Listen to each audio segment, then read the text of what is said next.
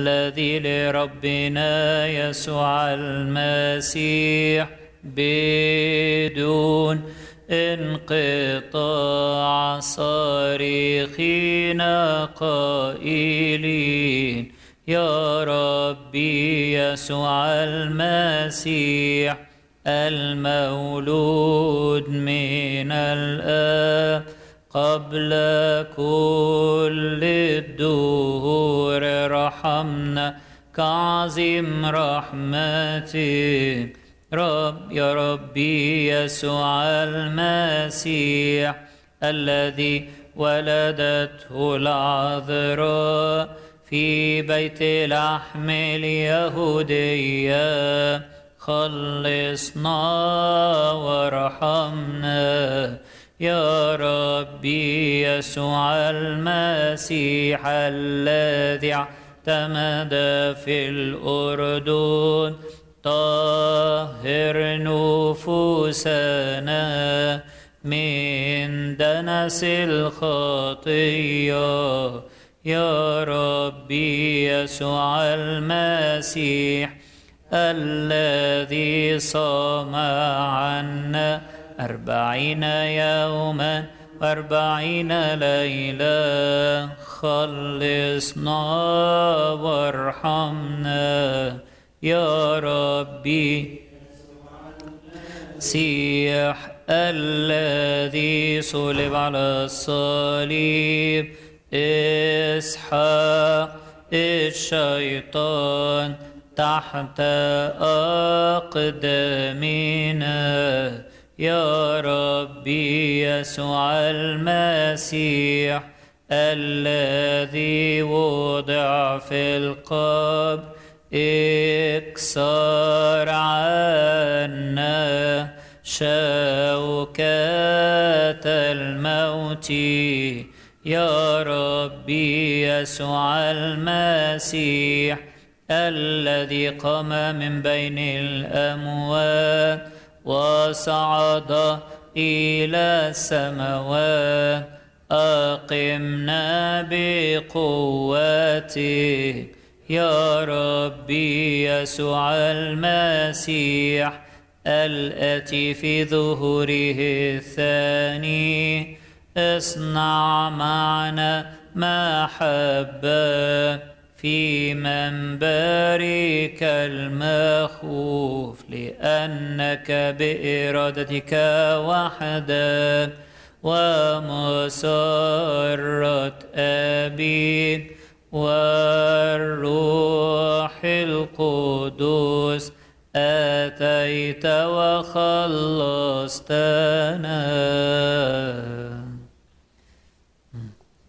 جميل أوي. طيب أنا هكتفي بكده عشان خاطر الوقت بتاعنا النهاردة ما ضيق شوية ونبتدي ناخد مع بعض نكمل دراستنا في سفر التكوين.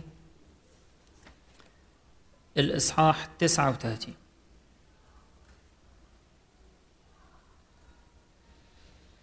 سفر التكوين الإصحاح 39 إحنا كنا خدنا تقريبا أول عشر أعداد. هنكمل النهارده بقية الإصحاح كله.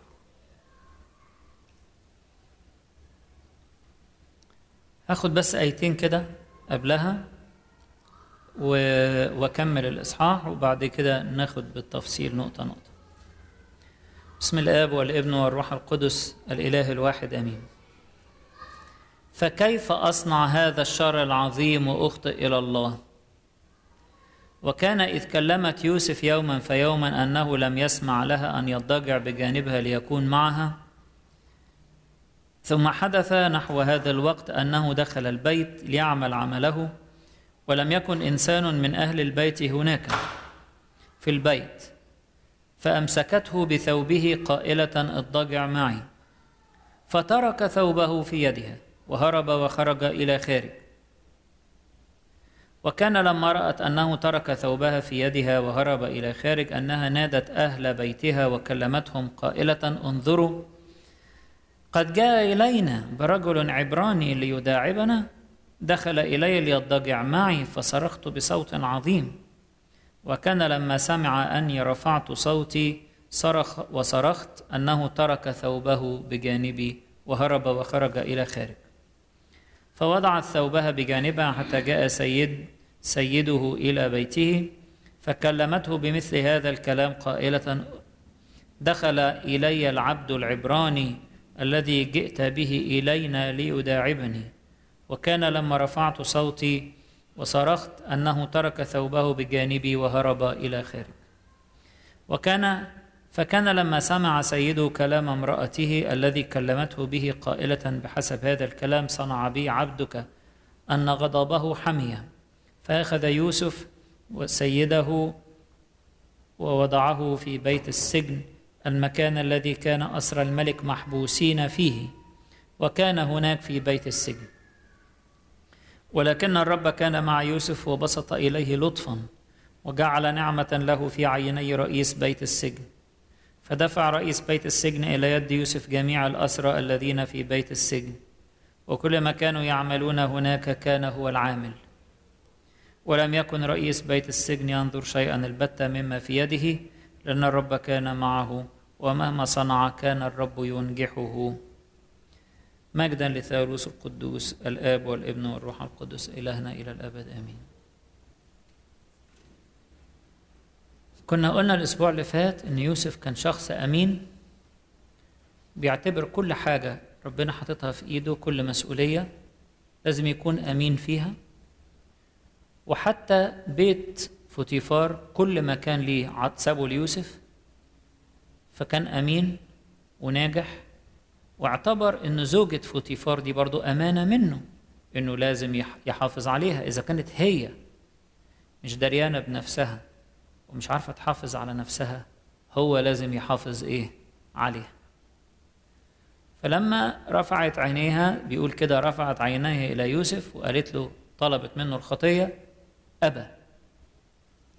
وقلنا إن رفعت العين دي وطلب الخطية ما كانتش هي أول خطوة تاخدها. كان في خطوات قبل كده هي أهملت في إن سابت الأفكار تبتدي تجيلها. وتسيطر عليها و... وبالتدريج شعل أشعلت الشهوة في قلبها فخلتها مش قادرة تسكت فمسكت فيه جامد وتطلب منه. وده بيبين لنا إن الإنسان لما بيتهاون في خطية صغيرة تدخل حياته ممكن تسيطر عليه وتخرب حياته لو هو أهملها وهي تبدو إن هي فكرة بسيطة أو نظرة عابرة. لا. الخطية خطيرة جدا. ما ينفعش إحنا نسيبها. تدخل ابدا ولا تعشش في حياتنا. وبعدين يقول كلمت يوسف يوما فيوما فلم يسمع لها. وقال لها كيف أخطئ إلى الله؟ ولكن الشيطان برضو بي إيه؟ ما يعني he doesn't give up. ما بيأسش. بيفضل يتحين فرصة. وده اللي حصل مع يوسف. الراجل كان مؤدب جدا وكلمها بكل أدب وقال لها لأ وأنا بخاف ربنا وما أقدرش وجوزك سايب لي كل حاجة وما منعش عني حاجة غيرك انت لأنك انت زوجته. فهي ما اقتنعتش بالكلام ومصممة على الخطية اللي في قلبها. طب ليه بنقول عليها خطية؟ ما يكونش ليه حب يعني ما هو حب. هو ربنا مش خلق الإنسان ذكرا وأنثى وحط بينهم نوع من التجاذب؟ لا. في ثلاث أنواع من الحب. ال ال النص بتاع الكتاب المقدس بيفرق بين ثلاث أصناف من الحب. الثلاث كلمات بيترجموا حب في ال في ال في اللغة العربية ويمكن في الإنجليزي لكن في الأصل اليوناني مش كده. في حب بيسموه إيروس وفي حب بيسموه فيلو في حب اللي هو الأجابي. الإيروس اللي هو الحب الشهواني العشق الحب الشهواني. وده الصنف ده في حقيقته مش حب. حقيقته الإنسان بيحب نفسه وعايز يشبع رغباته وشهواته. حقيقته مش حب. وحب أناني جدا وبيدور على مصلحته وعلى مزاجه ويطفي بسرعة جدا. بعد ما الإنسان يخلص رغبته الحب ده يطفي على طول. تاني نوع من الحب اللي هو الفيلو أو الحب اللي زي بنقول فيلو باتير يعني محب الآب. الفيلو ده الحب الإنساني الطبيعي اللي فيه الإنسان بيتبادل المحبة والود مع الآخرين. ولكن على مستوى إذا كان أنا مرتاح للشخص بحبه إذا كنتش مرتاح له ببعد عنه. إذا كان بيعاملني كويس أحبه إذا كان بيعاملني وحش هكرهه حب فيه تبادل منفعة. رايح جاي. إذا واحد كويس وأصيل وجود جاي خلاص ده يبقى كويس. أنا ممكن أتعامل مع ده. لكن ده بايخ ودمه تقيل أو ده عمل فيا وسوى فيا. أنا مش هعاملها أبدا. وهكذا. الحب ده ده الحب البشري الطبيعي. اللي قال عنه السيد المسيح إن لم يزد بركم على الكتبة والفريسيين فلن تدخلوا ملكوت السماوات. إن لم يزد بركم. قال لهم إن أحببتم الذين يحبونكم فأي فضل لكم؟ الخطاة والعشرين بيفعلون هذا. بيحبوا اللي بيحبوهم وبيقرضوا الناس اللي هم بيرجوا إن هم يستردوا منهم. طيب يبقى أنتوا تبقوا زي أولاد الملكوت. تبقوا زي أولاد العالم مملكة العالم. ده الطبيعي بتاعها. لكن تحبوا تقرضوا وت... وت... وتحسنوا إلى مبغضيكم لكي تكونوا أبناء أبيكم الذي في السماوات. ده النوع الثالث من الحب اللي هو الأجابي. الاغابي ده الحب الإلهي اللي زي ربنا. اللي زي محبة ربنا ما بتدي الوحشين والحلوين. يحسن أو ينعم على غير الشاكرين والأشرار. بيدي للكل يمطر على الأبرار والأشرار ويشرق على الكل ويدي خيره للكل ومش مستني من حد حاجة. ده الحب اللي ولاد ربنا مدعوين ليه حب الاغابي اللي بيحبه ومش مستني علشان خاطر ربنا بيحب الناس كلها عشان خاطر هو ابن ربنا. وبياخد رصيد من ربنا بياخد من الينابيع الغير المحدودة بتاعت ربنا ياخد من ينابيع الحب دي ويقدم وده الحب بتاع يوسف. تقول لي لا ده شكل يوسف كان بيكرهها. ابدا. ده يوسف أكتر واحد بيحبها. دي كانت هي الحب الإيروس بتاعها ده بتحطم نفسها. الحب ده حطمها. إن هو في الحقيقة مش حب هو أنانية وشهوانية تملكت عليها. لكن اللي كان بيحبها بجد هو يوسف اللي حافظ عليها. هو ده الحب. اللي بيدي ومش عايز. بياخد من ربنا ويدي. والحب الإيروس ده الشهواني ده يقلب على طول. فاكرين أمنون وسامر أخته؟ كانت شقيته بس كانت أخته من من أم تانية. وبرضه اشتهى الخطية وذلها وعمل الخطية اللي هو عايزها.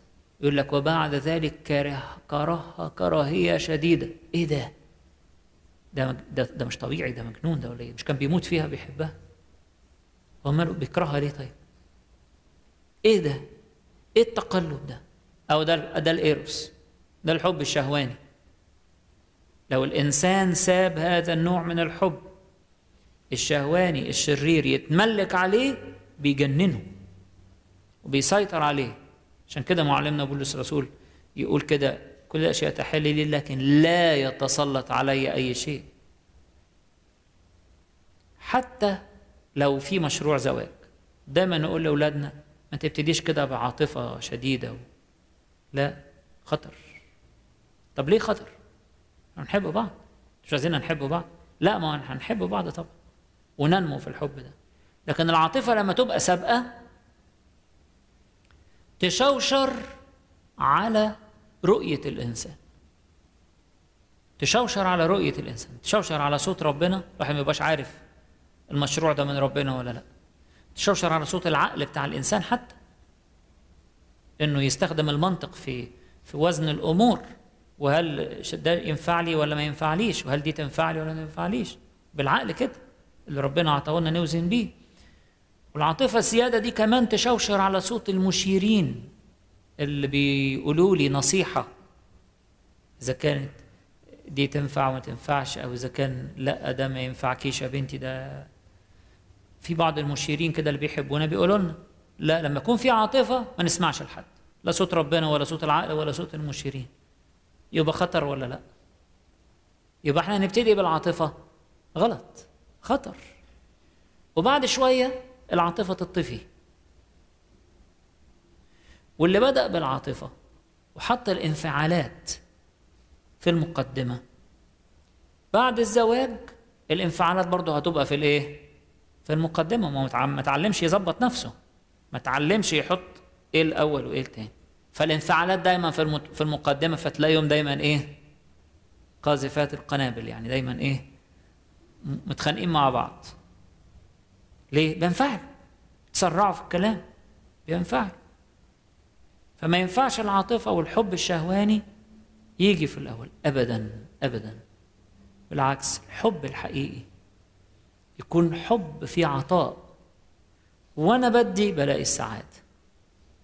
فيش في الزواج حب شهواني. ده حب كله عطاء. والعطاء ربنا يجري السعادة كده في قلبي. فالمنظر إن هي بتحب ومتعلقة بيه مش كده؟ ويوسف بيبعد عنها. الحقيقة في الجوهر هي ما بتعرفش تحب. ده هي شهوانية وبتحب نفسها وبس. والحب بتاعها اتقلب بالعكس. بعد دقايق بعد دقايق اتقلب بالعكس. وبقت كراهية. ويوسف اللي شكله بيبعد عنها هو ده اللي بيحبها. والدليل على كده حافظ عليها. الدليل على كده هرب ومرضاش يقرب لها.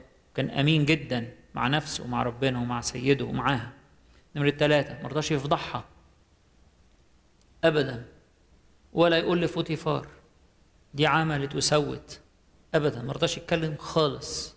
مرضاش يفضحها محبة. هي دي المحبة الحقيقية اللي تستر كثرة من الخطايا. ف ترتيب القصة مشي إزاي؟ مشي إنه الشيطان بينتهز فرصة عشان يوقع. فبتقول إيه؟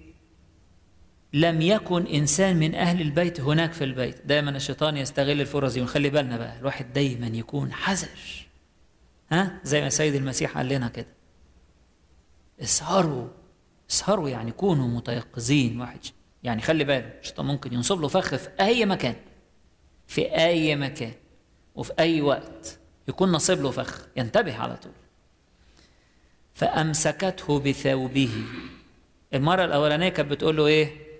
رافعه عينيها بس وبتقول له كلام بلسانها اضجع معي. مش كده؟ المرة دي إيه؟ حكاية زادت. مش بس بالنظر ولا بالكلام لا مسكته. فامسكته بثوبه قائلة اضطجع معي. دايما زي ما قلت لكم الشيطان لما بيسيطر على الإنسان يبتدي ينحدر ينحدر لحد لما يبقى هيموت على الخطية. وكمان بالنسبة ليوسف الحرب بتزيد وبدأت توضح. والشيطان كشف ورقه. في الأول كانت بتقول له كلام حلو وبتاع ورفض. وقعد يعقلها ويقول لها ما يصحش. فالمرة دي راحت ماسكاه. ده دي حاجة جامدة طب تعمل إيه يا يوسف؟ قال لا. في حاجة زي كده أطير أهرب. طب وأنت كده تبقى راجل؟ تهرب. والراجل يهرب. طبعا. طبعا. الراجل الواعي يهرب من الخطر. الراجل الواعي الهروب هنا موقف قوي شجاع. موقف في عفة عفة. موقف في أمانة. موقف فيه قوة إنه قدامه إغراء صعب ويهرب. موقف كله قوة. الهروب من حية دي شطارة وحكمة. مش معقول واحد يشوف حية ويقول طب نتفاهم طب نلعب مع بعض ما هنطرس الخطية كده. وزي ما كنا بنتكلم إنه الخطية على الولد وعلى البنت على الراجل وعلى الست. نظر إلى امرأة يشتهيها فقد زنى بها في قلب. ودي هي نظرت واشتهت. عشان كده حتى في في, تراتيل الكنيسة يقول لك يوسف العفيف هرب من الزانية. طب ما, ما عملوش حاجة مع بعض؟ لا. دي في في في, في مفهوم الإنجيل تصرفها ده زنا. طبعا.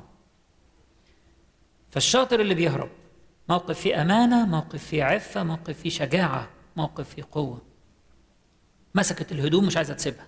فترك ثوبه في يدها وهرب وخرج إلى خارج. طبعا كلنا نعرف إن سيدنا البابا كتب قصيدة من أجمل القصائد كتبها في عز شبابه كان عنده 23 سنة. بعنوان ذلك الثوب. موجودة في كتاب انطلاق الروح. بيقول كده في مقدمتها لعل هذه الأفكار كانت تدور بذهن يوسف أو تتواثب على شفتيه وقد أمسكت سيدته بثوبه. لأن لما مسكت ما تفهمش. ها؟ عشان كده البابا بي كاتب القصيدة وبيقول لعلها كانت دي بتدور في ذهنه أو تتواثب على شفتيه بس ما قالهاش. فهو بيكتبها بقى يعني. بيقول إيه؟ بيقول هو ذا الثوب خذيه. إن قلبي ليس فيه.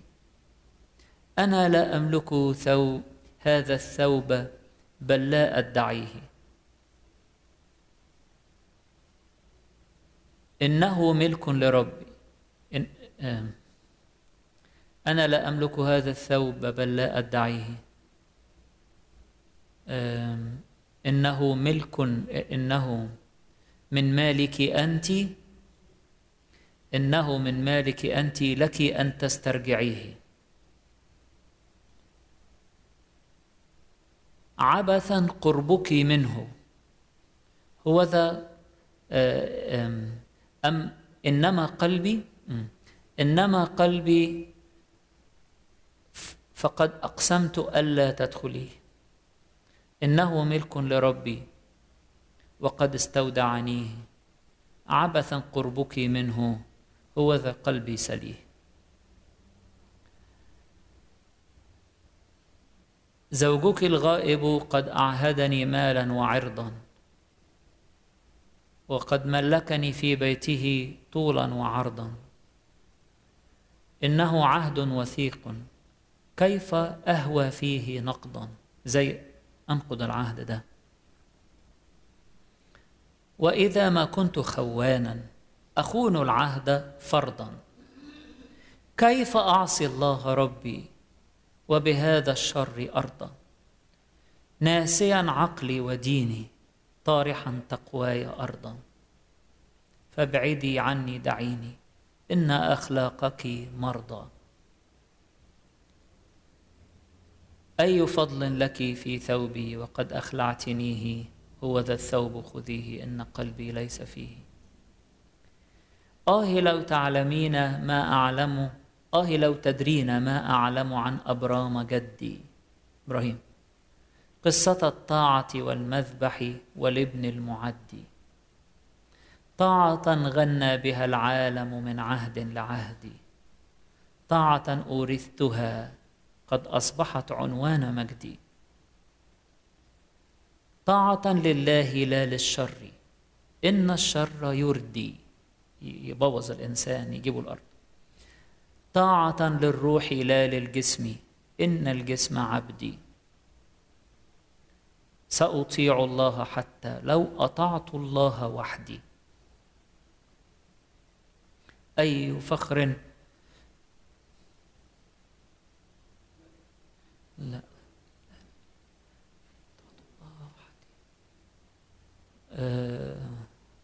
أي فخر لك في ثوبي وقد أخلعتنيه كيف كيف أعصي الله منقادا لذا الشر الكريه هو ذا الثوب خذيه إن قلبي ليس فيه؟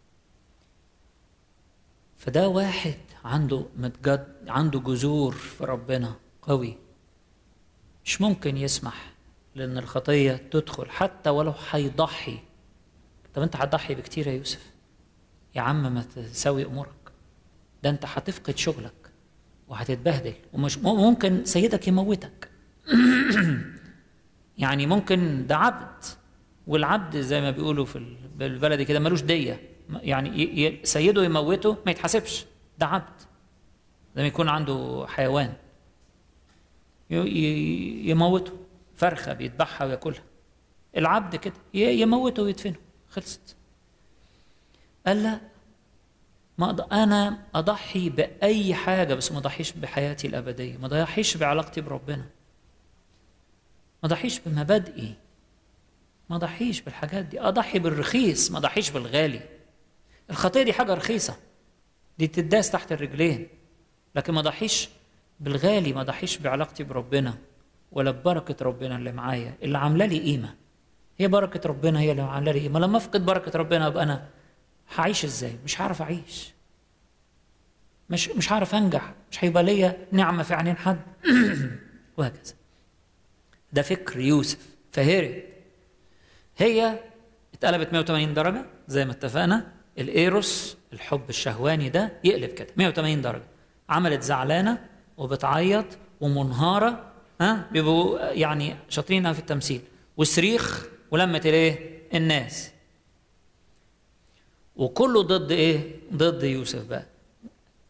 شوفوا بقى اتفرجوا. جوزي جايب لنا هذا العبد العبراني علشان جاي عشان يعاكسني. يا سلام هي بقى العفيفه الشريفه وهو اللي جاي إيه؟ يعاكسها وبس وحطت الهدوم بتاعته جنبها بقى معاها إيه؟ حاجة تكون عليها قصة. معاها الرداء بتاعه. ودخل فوتيفار وهي فضلت قاعدة طول الوقت مستنية مش عايزة تتحرك. يعني يعني مسرح الجريمة. مش عايزه تغيره بس دخل فوتيفار قالت له ده ده ده اللبس بتاع مين؟ ده التوب بتاع مين؟ قال لها في إيه؟ قعدت تعيط له وتقول له ده بتاع يوسف. جه وقلع التوب بتاعه وجاي عشان يغلط معايا وأنا صرخت فهرب. شوف بقى تعمل معاه إيه؟ طبعا فوتيفار جاي راجل زعل. ويوسف ده غالي عنده جدا مش بسهولة كان يعني هيموته لأنه ده ربنا بارك زي ما شفنا في الأسبوع اللي فات ربنا بارك لفوتيفار في بيته وفي حقوله وفي ممتلكاته بسبب الإيد المبروكة اللي كنا بنحكي عنها الأسبوع اللي فات إيد يوسف. فمش معقول. فمجرد حطه في الحبس كان عندهم زي حبس ملحق كده كنا قلنا إن فوتيفار ده زي رئيس الحرس الجمهوري بتاع الحرس الفرعوني يعني. هو رئيس الشرطة بتاعت اللي بيحموا فرعون. فعندهم زي سجن مخصوص كده اللي بيعاقبوا فيه الناس بتوع القصر وبتوع يعني اللي حوالين فرعون. فراح إيه؟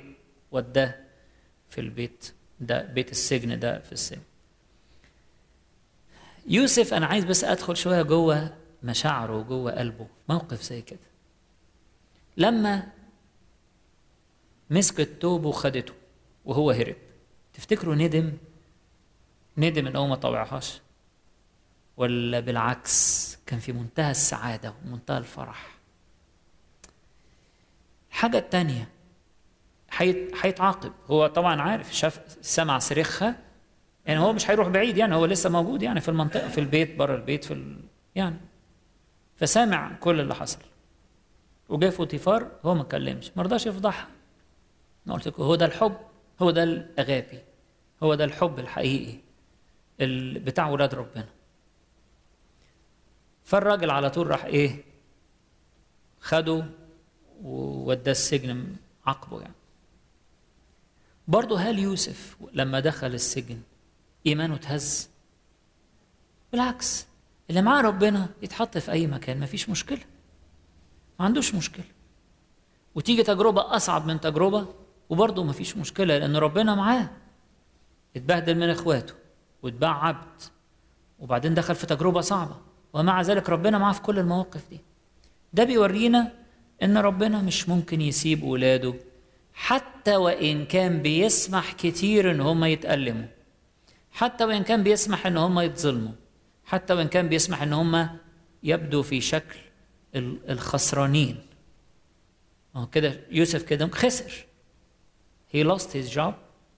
He lost his his reputation. خسر. سمعته وشغله. واترمى في السجن. شكله خسر. لا ما خسرش. اللي معاه ربنا يبقى كسبان كل حاجة. حتى ولو خسر أي حاجة من الدنيا. دي بولس الرسول لما خسر حاجات من الدنيا حسبها إن هي إيه؟ نفاية. اعتبرها نفاية. قال أنا من أجل المسيح خسرت كل الأشياء.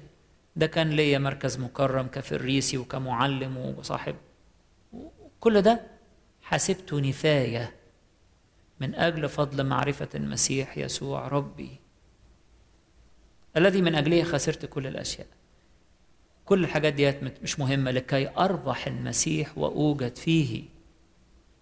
دي في فيليبي ثلاثة فإحنا اللي معاه ربنا حتى ولو مرت بيه ظروف صعبة. اضطهد اترفض اتظلم. يتقال عنه كلام وحش. اتبهدل من حد. غالي عنده أو عزيز عليه أو كان بيخدمه وعمل معاه معروف كتير ويلاقي حاجات وحشة. وليكن ما دام معاه ربنا تلاقيه فرحان. طب اتنفى طب اتسجن طب خسر هو فرحان لأنه معاه ربنا. فعشان كده على طول يقول كده ولكن حط في حط في بيت السجن في عدد 21 ولكن الرب كان مع يوسف. فمش مهم المكان اللي هنتحط فيه ولا نوعية العمل اللي إحنا فيه ولكن المهم إن إيد ربنا معانا. ونجتهد ونكون أمناء وبس. نجتهد ونكون أمناء وبس. وإيد ربنا معانا تسندنا. لكن الرب كان مع يوسف. طب عمل إيه؟ بسط إليه لطفا. عزاه يعني. عزاه. اللطف بتاع ربنا ده والتعزية بتاعت ربنا لا يوجد ما يماثلها في كل تعزيات العالم. لا أكل ولا شرب ولا علاقة مع حد ولا ما فيش شيء في ولا ممتلكات ولا ولا مديح من الناس. كل ده ما يولدش يعني واحد في المية من السعادة اللي تيجي من انسكاب تعزيات ربنا في القلب. بسط إليه لطفا. أعطاله كده نوع من السعادة ونوع من الفرحة. عزاة تعزية ليست بقليلة. وده على فكرة باستمرار ربنا بيعمله مع أولاده اللي بيشيلوا الصليب. أي إنسان بيشيل الصليب ربنا بيعزيه. يعزيه تعزيات بقى يعوضه تعويض الناس من بره مش فاهمة حاجة. الناس من بره تقول لك يا عيني بس اترمى إزاي واتظلم وبتاع. واللي يمشي مع ربنا آه اللي بيمشوا مع ربنا دول دايما المصايب بتلاحقهم. أنتوا مش شايفين حاجة ولا حاسين بحاجة. اللي عايش بقى مع ربنا هو اللي مستمتع هو اللي فرحان. بولس الرسول الناس بتدعي له عشان يخف لكن هو مستمتع. استمتع وقال أنا أصر بالضيقات والشدائد والضرورات قال أنا فرحان بالحاجات دي لأنها فيها تعزيات من ربنا كبيرة معاها. وقوة ربنا في الضعف تكمل. فبسط إليه لطفا وجعل نعمة له في عيني رئيس بيت السجن. حتى الراجل طبعا ده ناس واحد ما شافوش قبل كده يعني راجل مدير السجن تلاقيه ظابط يعني من الظباط. قد يكون يعرفه أو ما يعرفوش بس يعني يكون تحت إيد فوتيفار. فالراجل لقى يوسف ده حاجة حاجة جميلة أوي. مش وش سجون طبعا.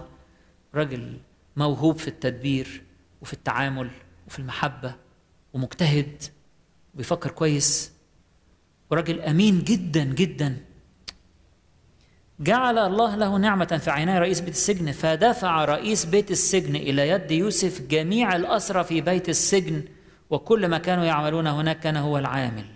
ولم يكن رئيس بيت السجن ينظر شيئا البتة مما في يده لأن الرب كان معه ومهما صنع كان الرب ينجحه. دي حاجة حالة فريدة ما تكررتش في تاريخ البشرية. إنه سجين يصير مديرا للسجن وهو ما زال إيه؟ سجين. ومدير السجن مسكه إدارة السجن. وهو اللي كان بيعمل كل حاجة ويرتب كل حاجة للناس. وكل حاجة بيقول لك لم يكن رئيس بيت السجن ينظر شيئا البتة. راجل أمين. فسيب له المسؤولية بالكامل. الأمانة هي اللي تنجح. الأمانة هي اللي تنجح. والاجتهاد عشان كده عطاله المسؤولية ونجح يوسف فيها. ومهما صنع كان الرب ينجحه. في ناس يا عيني يعني نفسها قصير شوية مع ربنا. فتبص تلاقيهم تيجي مشكلة ربنا انت سبتني. سابك إزاي بس؟ طب شيل بقى المشكلة. لا مش هنشيل. انت هتدخل فيها وهتمشي فيها شوية. بس أنا مش هسيبك. أثناءها أنا هبقى معاك. وهتختبر إيدي أكتر يمكن من الأول. وهتتعلم فيها حاجات ما كانش ممكن تتعلمها بأي شكل آخر عشان كده أنا سمحت لك بيها. ما هو لما يوسف يتعامل مع الأصناف المسجونة. فكركم يعني هيتعامل مع أصناف يعني راقية؟ أو ناس مؤدبة أو ناس يعني أخلاقهم كويسة؟ دول مساجين متعاقبين. ربنا عايز يدي يوسف خبرة إنه يتعامل مع شكل معين من الناس وإزاي ينجح معاهم وإزاي يقودهم. علشان بعد كده ربنا بيوعده لمهمة أكبر. ياه! طب الواحد يفهم الحاجات دي إزاي بس ما إحنا ساعة لما الواحد هيبقى كده في الضيقة هيبقى مش فاهم لا من ربنا حاطط لنا القصص الجميلة دي في الإنجيل ليه؟ من ربنا مسجل لنا التاريخ ده ليه؟ علشان يوم ما نمر في مرحلة ضيقة يوم ما ندخل سجن حتى ده ربنا بيعدنا وعايز يكسبنا خبرات وفضائل ما كانش ممكن نكتسبها بوسائل أخرى فسمح بالضيقة دي علشان نكتسب بها الخبرات دي علشان هتنفعنا بعد كده وربنا هيستخدمها بعد كده. يعني كل يعني هو ربنا ده يعني حاططنا في دماغه كده وبيوضب فينا ما وراهوش غيرنا؟ ما وراهوش غيري أنا يعني؟ أيوه أيوه. كل واحد فينا كده ما وراهوش غيري. بيعتني بيا كأن أنا الوحيد اللي في الكون. وبيوضب وبيرتب ويسمح لي إن أنا آخد خبرة معينة وأسمع كلمة معينة وأدخل في ضيقة معينة وأدخل في مشكلة معينة ويقف جنبي كأن ما فيش غيري أنا في الكون عشان بيوضبني عشان في مهمة عايزني فيها. تقول لي طب أنا ده أنا راجل كبرت في السن و... فين بقى المهمة؟ إزاي؟ هي حكايه مش بالسن. مين كان يتصور؟ ان موسى اللي عنده 80 سنة ربنا هيبتدي يشتغل بيه بعد ما عدى ال 80 واشتغل بيه شغل إيه؟ يعني شغل جبار. موسى ده اللي كتب لنا الأسفار. اللي تهذب بكل حكمة المصريين عشان يكتب لنا الأسفار بالتنسيق ده وبالترتيب ده وبالدقة دي. فربنا كان بيعده. وبعدين لما خد علم وخد حكمة افتكر إنه يلا هيبتدي يخلص. فبدأ يتسرع ويبقى يستخدم يستخدم العنف. ربنا قال له لا لا لا. عايزين ناخد درس تاني بس مش هقدر اديهولك في بيت فرعون. هناخد درس تاني بقى في البرية. ودرس طويل. مرحلة طويلة أربعين سنة من العمر لما استوى فيها. في الحر والبرد ورعاية الغنم. واتضع اتضع اتضع انسحق. بعد ما كان شايف نفسه. صح. طب والإنسحاق ده ممكن الواحد ياخده بمحاضرة؟ بوعظة؟ ها؟ ياخد وقت. ولازم ربنا يدخلنا في ضيقات. على رأي القديس ماري إسحاق لما بيقول حقا يا رب أنك لا تكف عن تذليلنا بشتى التجارب والضيقات حتى نتضع طب وربنا عايزنا نتضع ليه علشان يفيض علينا بقى بنعمة كبيرة بقى. يبتدي يشتغل معانا بجد. لما اتضع اشتغل معاه بقى. وقال له هتقود الشعب كله. اللي كانوا فوق 2 مليون شخص. ربنا بيعدنا. كل واحد فينا ربنا بيعده. محدش يقول أنا زمان بقى وخلاص وفاتت مني فرص كتيرة. لا. كل الفرص اللي فاتت. واللي جاية ده لسه في جاي كتير. وربنا بيعدنا. وربنا بيجهزنا. طب لو دخلنا في ضيقة بيجهزنا علشان هيستخدمنا. أتاري مدخل يوسف السجن ما إحنا مش فاهمين. إحنا لو وقفنا لحد كده هنقول يا عيني الولد ده مظلوم. حظه ملطش. من بداية عمره طلع أمه ماتت وهو طفل واتيتم منها وهو صغير. ومن بداية عمره إخواته بي بيكرهوه واتأمروا عليه واتباع عبد واتبهدل وفي آخرها سجن. لا ده مش آخرها. ده مش آخرها. دي مراحل دي سنوات دراسية ربنا بيعده فيها عشان هيستخدمه استخدام هيبقى مخلص العالم. هو يوسف ده هيبقى سهل ده هيبقى سيد الأرض ده هيبقى مخلص العالم. سماه كده فرعون فرعون سماه مخلص العالم. إيه ده؟ فواحد حي... هيعمل مهمة كبرى زي كده لازم يعد إعداد شديد. ساعات ربنا يعد واحد كده يعني هيعمل مهمة مش كبيرة قوي فيعده على نار هادية كده بسيطة فترة بسيطة. لكن يوسف ده خد نار هادية ونار حامية ها؟ علشان يبقى بعد كده في موقع المسؤولية. وهو مهيأ تماما واخد خبرة حلوة في العمل وفي الاحتكاك بكافة النوعيات وخد إيمان وثقة نمى نمى في حياته وخبرة حلوة مع ربنا إنه ربنا بينجح كل عمل وإنه مهما كان الظروف صعبة ربنا هينجحه. ما هي ظروف في بيت فوتيفار كانت صعبة برضه. سواء من ناحية إنه ما عندوش خبرة وما عندوش لغة. لحد الموقف بتاع مرات فوتيفار اللي فضلت تزن عليه أسابيع ما أعرفش قد إيه. فضلت تزن برضه كان موقف تجربة صعب والسجن برضه تجربة صعبة. مش سهلة الحياة في السجن. يعني ناشفة وصعبة قاسية. ومع ذلك يوسف اختبر كل ده علشان بعد كده لما يمسك مسؤولية كبيرة يقول صحيح أنا ما بفهمش لكن وما عنديش الخبرة دي إن أنا أقود بلد بالحجم ده لكن ربنا اللي وقف جنبي وسندني ونجحني في بيت فوتيفار ونجحني في السجن هو برضو اللي هي إيه؟ هينجحني. عشان كده يوم فرعون قال له أنا اخترتك أنت الراجل مش بقى فرح فرح الناس اللي بيقول لك دخل البرلمان ولا اللي مش عارف عمل إيه ولا إيه ويدخل بقى ويحس إن خلاص وصل وصل. يا عيني يا رب. وصلت لإيه؟ ده أنت لسه هتبتدي. ده أنت لسه هتبتدي تورينا بقى الثمر. ده أنت لسه هتبتدي هتورينا هتعمل إيه. هنشوف يوسف في الفترة اللي بعدها إزاي اجتهد نزل لف مصر شبر شبر. مصر ضخمة ومفيش طرق. وصحراء. لف وبقى يدور على كل منطقة ممكن هتتزرع. ممكن كل منطقة توصلها المية مع بتاعة الفيضان عشان هتتزرع. وأنشأ مخازن في كل منطقة. اجتهد. النجاح ما بيجيش من فراغ. ما بيجيش إن إحنا الناس تقول لنا في يوم من الأيام إحنا انتخبناك تكون كذا يروح قاعد يركب فوقيهم وخلاص. وإيه ده؟ النجاح شغل واجتهاد وأمانة. وقوة وبركة من ربنا. وربنا اللي بينجح. في كل موقف يوسف متكل على ربنا حاسس بمخافة ربنا في قلبه وعامل حساب ربنا فوق كل حاجة ومتمسك بربنا وبالقيم الروحية. عشان كده إيه؟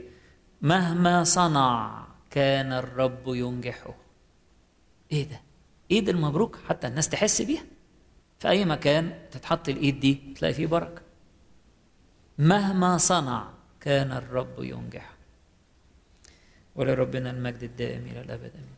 إذا كان حد عنده تعليق أو سؤال بسرعة كده. جيب لك الميكروفون الأسبوع اللي جاي أنا هبقى مش موجود فمش هيبقى فيه إنجيل. دراسة إنجيل هيبقى فيه القداس. أبونا جون بول هيصلي القداس. وال و ودراسة الإنجيل نستكملها الأسبوع اللي بعد الجاي إن شاء الله. اتفضل يا دكتور. يوسف كان بيمثل الضمير النقي الصالح اللي ربنا خلقه بيه لكن لم يتلوث على مدى العمر اللي عاشه يوسف وده طبعا جه قبل الشريعة باكثر من 400 سنة على فده ده, ده بيمثل الضمير الصالح حتى جميل. بدون الشريعة. لكن ده طبعا التسليم التسليم التقليد المكتوب والتسليم. دي فكرة جميلة يا دكتور إن الإنسان كمان في بداية حياته المفروض إن هو اتعمد وثبت ويعني وخد التعليم الروحية. المفروض إنه ضميره بيبقى حي ونقي. الشاطر اللي ما يسمحش لضميره إن هو إيه؟ يتلوث. إن الإنسان لما بيهمل ضميره يتلوث. وقول طب معلش دي طب نفوت دي طب معلش ما كل الناس بتعمل كده. طب ما كل الناس بتكذب طب ما كل الناس ب... فتبص تلاقيه ضميره إيه؟ تلوث وبعد كده يتدرج بقى في ال... في الانحدار. حد عنده تعليق أو سؤال؟ آه. بس ممكن تستعملي سمعت كتير مرة عن آه، فوتيفار هو ما قتلش يوسف واكتفى إن هو يسجنه بس عشان كان عارف إن مراته يعني اخلاقها يعني مش حلوة. فهل هذا صحيح؟ بصي هو مش مكتوب حاجة زي كده.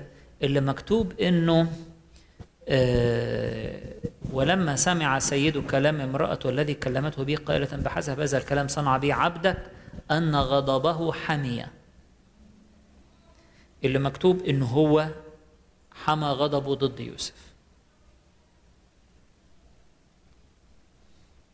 ساعات الراجل حتى لو مراته يعني مغلباه وكده لكن علشان يريحها لازم يعمل حاجة لأنها بتصرخ له. ما هي دي عمالة بتصوت له وبتصرخ له. بتقول له الراجل اللي أنت جايبه لي والعبد بتاعك. كان بيخدمك أنت كمان. ده البركة اللي في عندكم في البيت بسببه. بس هي عمالة ترمي التهمة عليه. يقول لك جاء جاء برجل ليداعبنا وده العبد اللي انت جبته وده وعمالة ترمي التهمة على إيه؟ على جوزها. حتى طريقتها في الكلام ما هي باينة يعني باينة. فهو علشان يريحها هيعمل إيه؟ حتى ولو كان مش مقتنع أو مقتنع نص اقتناع يعني انفعل. كأي راجل أنا انفعل لأن عمالة تعيط له وتصرخ له وتقول أهو ومعاها دليل. فسجل اتفضل. أنا يعني يعني الواحد بيقدر يستنتج من إن يوسف طبعا عايش دايما مع ربنا وكان بيتحل يتحمل ألامات كتير جدا جدا جدا. بيشبه لي زي بولس ما قد إيه اتحمل. اتسجن برضه وخد تعب كتير جدا وكل كل ما يسافر بلد برضه كان بيتألم كتير وكده. فالواحد لازم فعلا يثق في عمله. حضرتك لما اتسجن تعزيات ربنا كانت قد إيه؟ يا اتضرب واتسجن ودمه ساح في فيليبي. آه. كان دي أول بلد في أوروبا. لسه قاريها امبارح دي أوروبا. استقبلت بولس الرسول بالسجن الصعب ده. يا دي كانت أول كراسته في أوروبا. صحيح. و- وتعزيات ربنا فاضت عليه لدرجة إن هو هو وسيلة عمالين يصلوا ويسبحوا ربنا غالبا كانوا بيصلوا بالمزامير بيصلوا صلاة نص الليل وحافظين بقى وبيصلوا بالمزامير وعمالين يسبحوا ويرتلوا ويغنوا كأن هم على قاعدين في بارك ولا حاجة. أيوه. فالواحد ده في نص الليل ب- ودمهم سايح وبيصلوا ويسبحوا ربنا. دي واضح إن فيها تعزية تعزية اللي هي. زي ما قال هنا وبسط إليه لطفا. في كده تعزيات إلهية صحيح. ملت قلبهم زي ما ملت قلب يوسف. فالواحد يثق في عمل ربنا ومهما حصلت له أي تجارب برضه يعني يطلب من ربنا إن هو يديله التعزية والتقوى ويتحمل بالظبط يعني. بالظبط. وربنا مش ممكن يسيبنا في وسط ربنا التجارب. مش بيسيبنا فعلا. عظيم عظيم. اتفضل يا دكتور. هو بس في تأمل كده و- وقلتك بتتكلم. يعني يوسف ما كانش موجود في عصر الناموس. يعني ما كانتش الوصايا نزلت.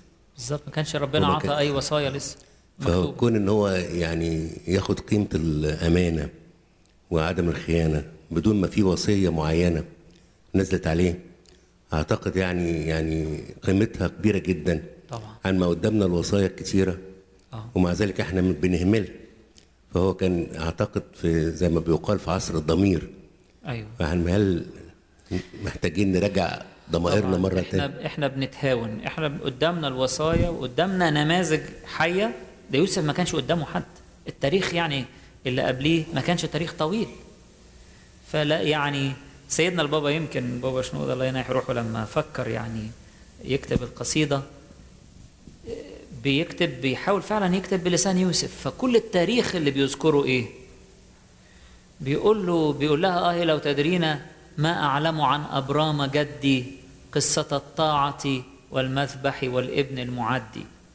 يعني كل التاريخ اللي كان موجود إن إبراهيم اطاع ربنا وإنه قدم ابنه على المذبح لما ربنا طلب وإنه اطاع وساب ال- البلد بتاعته وعشيرته وإنه كان أمين مع ربنا. يعني مجرد التاريخ اللي قبليه حاجة بسيطة يعني حاجة بسيطة خالص. قصة ولا قصتين ولا ثلاثة وخلاص. في حين إحنا النهارده عندنا شوف السنكسار النهارده كان تسع قصص اللي رهبان واللي, واللي شهداء واللي شهيدات واللي أشكال وألوان قدامنا.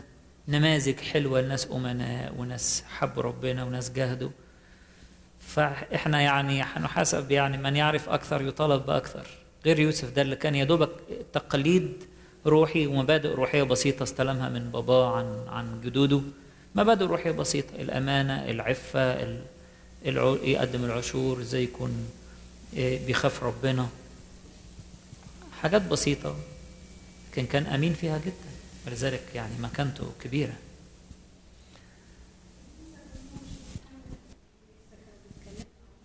مين؟ القديس ابانوب القديس ابانوب عشان عيده عيده كان امبارح. عيده كان امبارح. آه.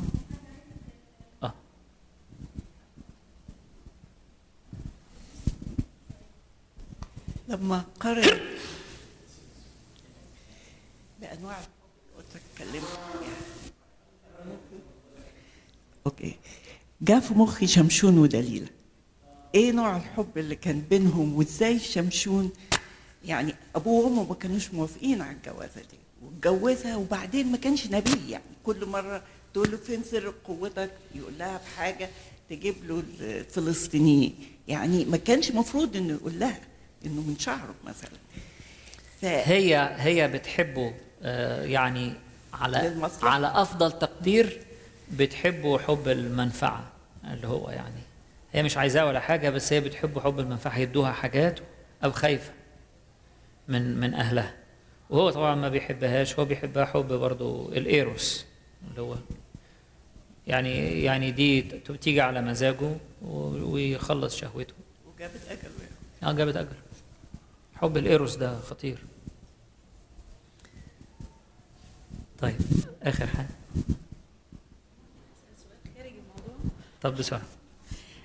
في السنكسار قدسك قلت آه، عن الشهداء. إنه الاكليل الشهادة ده مش بيجي بالساهل كده ده بيجي يكلل تعب وصوم وصلاة وجهاد جامد.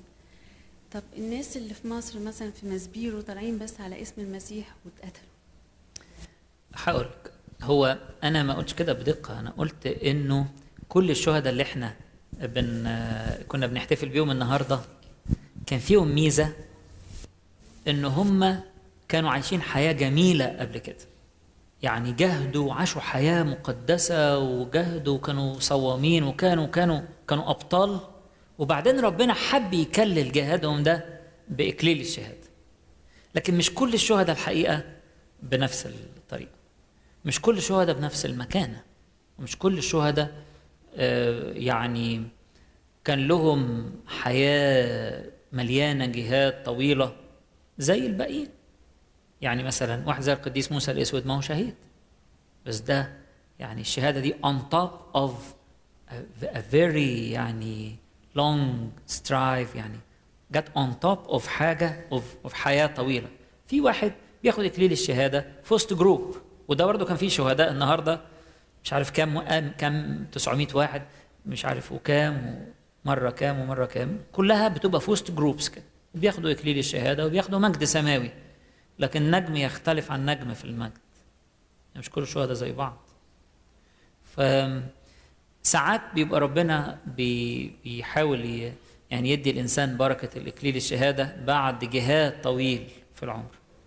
وأحيانا يبقى الاكليل الشهادة الواحد ياخده كده ما يكونش مهيأ ليه لكن يلاقي ربنا عطاله القوة دي والبركة دي فنال اكليل الشهادة ومات على اسم المسيح. فبتفرق من يعني من واحد للتاني. لكن أنا يمكن أنا كان قصدي إيه؟